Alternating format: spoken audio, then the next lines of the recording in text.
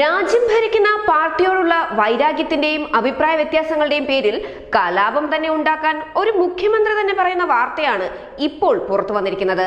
കേന്ദ്രത്തിൽ നിന്നും B J പിയെ എങ്ങനെ താഴെ ഇറക്കാം എന്ന ലക്ഷ്യവുമായി പ്രതിപക്ഷ പാർട്ടികളെ ഒന്നിച്ചു നിർത്താൻ പശ്ചിമബംഗാൾ മുഖ്യമന്ത്രി മമതാ ബാനർജി കിണഞ്ഞു പരിശ്രമിച്ചിട്ടും ഒന്നും നടക്കാത്തതിനാൽ മറ്റു പല മാർഗങ്ങളും പരീക്ഷിക്കുകയാണവർ എന്നാണ് രാഷ്ട്രീയ നിരീക്ഷകർ ഉൾപ്പെടെ പറയുന്നത്.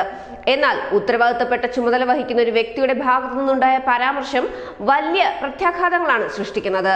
നൂപുർ ശർമ്മയുടെ വിവാദ പരാമർശത്തിന് പിന്നാലെ കലാപത്തിന് കോപ്പുകൂട്ടിയിരിക്കുകയാണ് മതമൗലികവാദികൾ.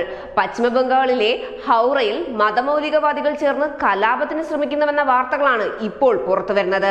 എൻ എച്ച് നൂറ്റി പതിനാറ് അങ്കർഹട്ടിക്ക് സമീപം മതമൗലികവാദികൾ ചേർന്ന് ഗതാഗതം സ്തംഭിപ്പിക്കുകയും പോലീസിനെ ആക്രമിക്കാൻ നീക്കം നടത്തുകയും ചെയ്തു.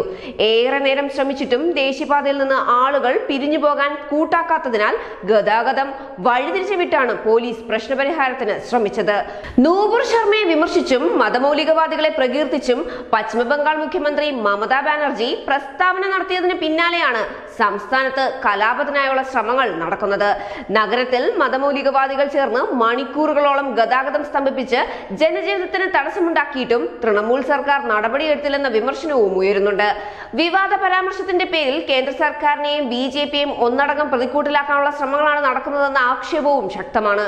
ദില്ലിയിലേക്കും ബി ജെ പി ഗവൺമെന്റ് ഉള്ളയിടങ്ങളിലേക്കും പോയി പ്രതിഷേധിക്കാനായിരുന്നു കലാപകാരികളോട് മമതാ ബാനർജിയുടെ ആഹ്വാനം. ഇവിടെ ഒന്നും സംഭവിച്ചിട്ടില്ല. ദില്ലിയിൽ പോയി പ്രതിഷേധിക്കൂ. ഗുജറാത്തിലും ഉത്തർപ്രദേശിലും ബി ജെ പി ഗവൺമെന്റ് എവിടെയാണുള്ളത് അവിടെയെല്ലാം പോകൂ എന്ന് മമത പറഞ്ഞു. മുഹമ്മദ് നബിയെ നിന്ദിച്ചെന്ന പേരിൽ നേരത്തെ മതമൗലികവാദികൾ ചേർന്ന് ഉത്തർപ്രദേശിലെ കാൺപൂരിൽ കലാപത്തിന് ശ്രമിച്ചിരുന്നു. മാരകായുധങ്ങളുമായി എത്തിയ കലാപകാരികളെ പോലീസ് ഏറെ ബുദ്ധിമുട്ടിയാണ് പ്രദേശത്തു നിന്ന് നീക്കം ചെയ്തത്. സംഭവവുമായി ബന്ധപ്പെട്ട് മൂന്ന് പോപ്പുലർ ഫ്രണ്ടുകാർ ഉൾപ്പെടെ അമ്പത്തിനാല് പേർ അറസ്റ്റിലായിരുന്നു. News desk news India Malayalam.